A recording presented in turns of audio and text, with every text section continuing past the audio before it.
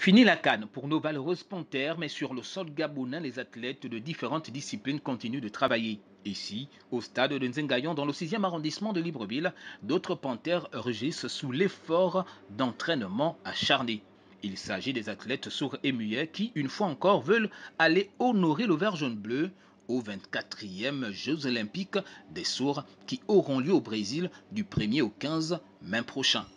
C'est jusque-là ils ont du mal à s'imposer dans le paysage sportif gabonais. Madungu Fred Rodel, spécialiste du 3000, 5000 et 10 000 mètres, Onanga Omar Moussa, spécialisé dans le 100, 200 et 400 mètres, et Bouya Ariel Niquez, qui représentera le pays en taekwondo dans la catégorie de moins de 68 kg, comptent bien inscrire leur nom dans les annales du sport au Gabon. Au-delà de toute cette volonté affichée, les athlètes réunis au sein de l'association gabonaise Omnisport des sourds sont toutefois sceptiques.